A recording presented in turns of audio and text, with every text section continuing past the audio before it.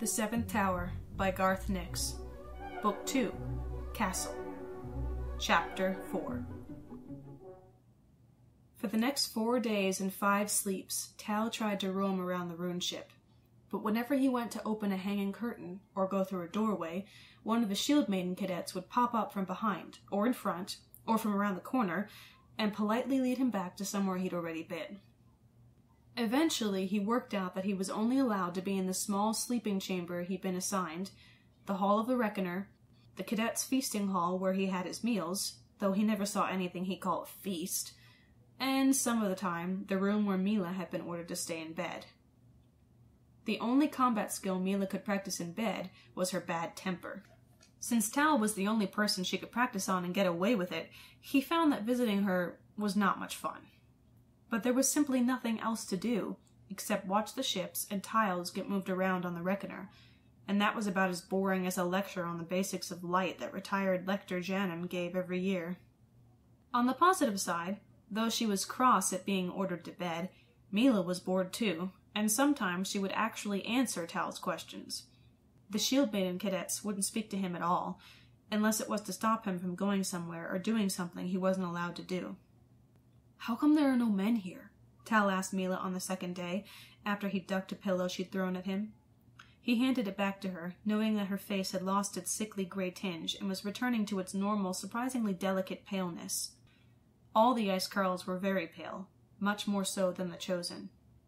Most Icecarls had the same color hair, too, like sunshine mixed with white ash. Tal's hair was the color of dirt, settling just above his shoulders. He felt that cutting his hair short would be an admission that he was no longer a proper chosen. No men where? snarled Milla. Here, the rune ship. I told you, snapped Milla. It is the chief place of the Shield Maidens. It is not like a normal clan ship. There are no families, no children, no hunters, no Selski. The only men who come here would be either lost hunters, messengers, or a sword thane. A sword thane? asked Tal, suddenly interested. Women who wish to serve all the clans become shield maidens, explained Milla. But men do not work so well together, so those who wish to be lawgivers and protectors become sword thanes. What do you mean? asked Tal. Everyone knows this, Milla frowned. Some clans prefer a sword thane, though they can be unreliable and hard to find. It makes a better saga, I suppose. Prefer a sword thane for what? Trouble, spat Milla. When you have trouble, you send for the shield maidens, but sometimes the sword thane finds you and the trouble first. But aren't shield maidens heroes? Tal inquired. I mean, you killed the Merwin. Doesn't that make you a hero? What makes you a sword thane? I wish to be a shield maiden, so I must try to be a hero, Milla repeated. But only a man can be a sword thane. All sword thanes are heroes, but not all heroes are sword thanes. What? Asked Tal. He was getting confused. So, what do you call a man who's a hero, but not a sword thane? What if he uses an axe or a spear? Milla didn't answer. She picked up the Merwin horn sword that never left her side and readied it to throw like a spear. Tal didn't stay to be a target, or for further explanation about shield maidens and sword thanes. He disappeared around the corner and did not visit Milla again till she was up and final preparations were being made for their departure. They left the rune ship after a stay of a full five sleeps, the same way they had entered, stumbling along blindfolded, guided by Arla. This time, at least, they were much better equipped. The shield maidens had been generous in providing new furs, climbing teeth, ropes of braided Selski hide, and other things they considered essential to climb the ruined road to the Mountain of Light. Tal had used part of the time in the ship to study Longface's map. He had come to the conclusion that the bone had not actually been carved with a sharp tool, but cut by sunstone light. That meant the chosen who had done it had been extremely skilled, and that he still had his sunstone when he had staggered down to the rune ship but not his spirit shadow. The tablet gave no clue to its maker's mystery. There was writing on it, in addition to regular marks that were obviously a map, but all the writing said was half road down Pyramid Imrir, Fallen 100 stretch, entry Heatway, tunnel, Underfolk 7. Tal had puzzled over this for some time, but all he could guess was that it meant there was an entrance to the heating system of the castle, which he knew went through the mountain, right down into the deep earth. Underfolk 7 was almost certainly a reference to the lowest of the Underfolk levels, which Tal supposed was where the Heatway Tunnel came out. Presumably, the entrance outside would be about halfway up the mountain, near a fallen pyramid. Tal had a dim recollection that Imrir had been the emperor long ago. The current empress didn't have a name. Tal had never wondered about that before. Of course, she had been the empress for much longer than most, fending off old age with her mastery of sunstone magic. Maybe emperors or empresses' names were only known after they died. All thoughts of the empress were gone by the time the blindfold came off. Arla left them, without a word. Tal watched with relief as she silently slid away. He felt like a cave roach about to be stepped on when Arla was around. Milla, of course, had a completely different reaction. Arla was everything Milla wanted to be twenty circlings from now. Tal stood alone with Milla in the freezing wind.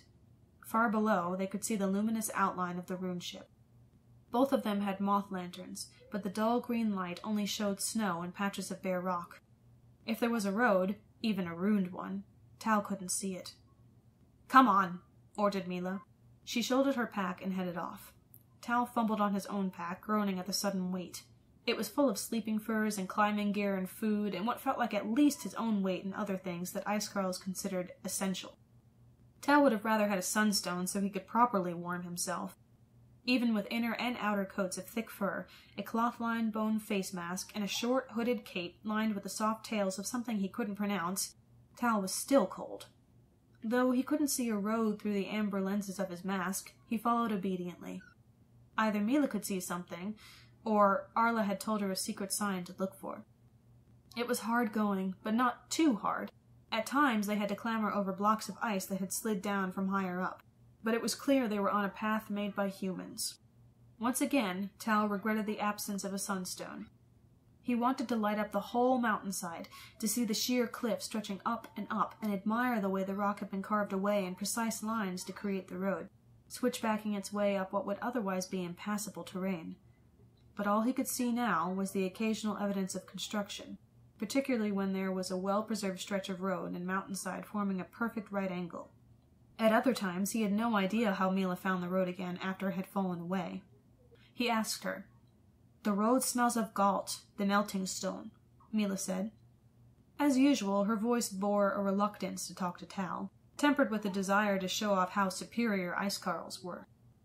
She bent down, swept away a light layer of snow, and with effort pulled out a piece of black rock that shone in the moth light. There are hot pools of Gault in the far southern mountains, she said, holding the piece under Tal's nose. When it is hot, it pours like water and smells very sour. Even very old, cold Gault smells. I do not know how the ancients brought it here for the road. Tal raised his mask to sniff at it, but he couldn't smell anything. His face just got cold, as the hours of walking wore on, Tal was no longer interested in how Milla found the road. He was just glad that she did. He was also hoping that she would stop soon so he could rest. She had to be tired too, he reasoned, since she was still recovering from her wound. But she showed no signs of weariness. When she did stop, it wasn't for a rest. She suddenly backed up, almost hitting Tal. While he gawped at her, she threw her arm around him and wrestled him into the nearest snowdrift, piled up against the mountainside. As they plunged into the snow, Tal felt a great rush of air go past. He caught a momentary glimpse of enormous, translucent eyes, each as large as his own head, followed by spread wings of great size. What was that? Milla clapped her hand over his mouth, her fur glove almost smothering Tal. He started to struggle, then stopped as she held a knife against his throat and ordered him in a whisper, Stay still! They lay together in the snow, not moving. Finally, they heard a terrible screech some distance off, and Milla relaxed. The knife vanished from her hand, and she let Tal sit up. Parole, she said. They can't see you if you stay completely still. They're a bit deaf as well. Was the... the noise? asked Tal. The unseen hunters in the air made this place even worse than being on the ice. At least with the Selski you could hear them coming, and you could see Merwin's luminous horn. Milla didn't answer so Tal repeated the question. It could be any one of a number of things, Milla replied evasively. The Praw's meal, I suppose. So, the great Milla doesn't know everything, remarked Tal. Milla ignored him, her attention still focused downhill. Perhaps. perhaps it was the other way around, Tal added. The screech hadn't sounded like something being caught. It had sounded triumphant. Maybe the praw was something else's meal. They looked at each other, expressions unseen behind their face masks. But Milla started off again at a faster pace, and Tal followed without complaint. Without his sunstone, Tal had no idea how much later it was when they finally stopped to rest and eat. As on the ice, the meal was selski meat heated over a selski oil stove. We will have three watches. I will take the first and third, declared Milla when they had finished eating. You need only stay awake for the middle watch. I can stand two watches, said Tal. Let's have four watches. Do you know how to count every breath without thinking, even while asleep? asked Milla. Uh, no, answered Tal. What is... That is how we count the passing time when there is no other means, explained Milla, as if she were speaking to a very small child. So I will tell you when to begin and finish your watch. Tal couldn't argue with that. Surreptitiously, he tried to count each individual breath, but he couldn't keep track. He half suspected that Milla couldn't either, and she was just trying to be superior again. It was a cold camp, and a dangerous one, with a long drop beside the road. They put their backs against the slope, and Tal silently told himself thirty times, I must not walk in my sleep. Sleep did not come easily. The wind howled down the mountain and seemed to want to pick Tal and Milla up and take them with it all the way to the rune ship far below. Because they were higher up, it was even colder than on the ice, and Tal found himself huddling closer and closer to Milla to stay warm. Milla seemed to take this as normal behavior, but Tal found even her fur-muffled closeness unnerving. He had never been so close to a girl before, let alone one who might kill him if he accidentally threw his arm around her while he was dreaming. That thought didn't help him sleep. Neither did the noises he heard, or thought he heard, in the night. Even when Milla was supposed to be sleeping, she sat up every now and then to listen. Sometimes Tal wondered if she ever really slept.